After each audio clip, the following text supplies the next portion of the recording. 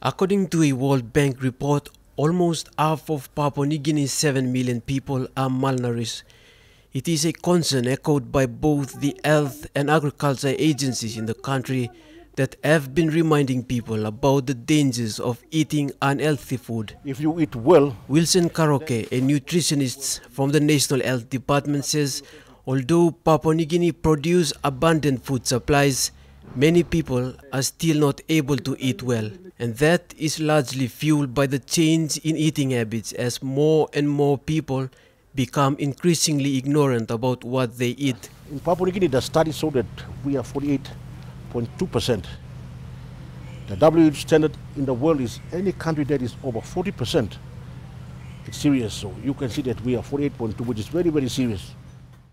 The change in eating habit to a large extent affects a person's growth and a child's ability to learn.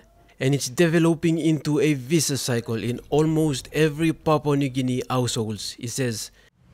With the transitional from movement of people from from the traditional society into the new new society, they change their eating habits, they change their diet habit, dieting habits, they change their choices, their preferences of food. The change in eating habits has also contributed towards a decline in the life expectancy of Papua New Guineans. This means people who tend to eat unhealthy food are most likely to die early before reaching the age of 65, which is the normal life expectancy of an average Papua New Guinean. Edwin Fidelis, National EMTV News, Lae.